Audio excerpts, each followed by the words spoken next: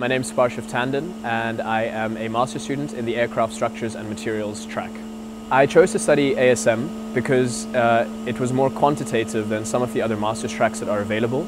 It also allowed me to stay in quite a general uh, engineering sense, so I can apply my knowledge to, of course, aircraft and spacecraft, but also automotive and other fields uh, outside of aerospace.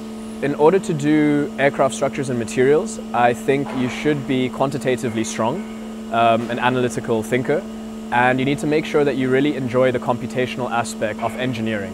The ASM track um, is actually has been changed for this year.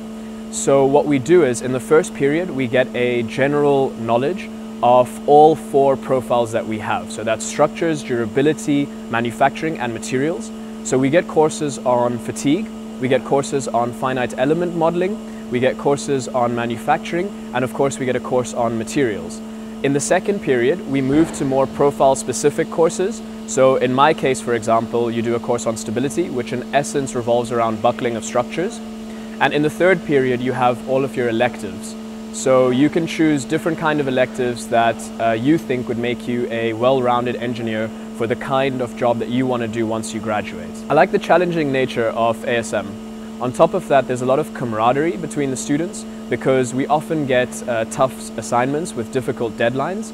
And in order to meet those, we work together, we help each other out, and uh, there's a lot of open discussion. Finally, I would say the interaction with the professors is great. I think all the professors always have time for you. You can always walk into their office and they're always willing to provide you with the help that you may need. The master's program uh, did match my expectations to some degree. It also was slightly different than what I had expected in the beginning. I chose it because I wanted something that was very computational and analytical and quantitative.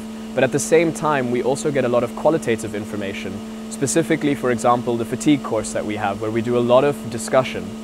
However, I would say that all of that adds to the master's track and made it even more interesting than I had initially anticipated.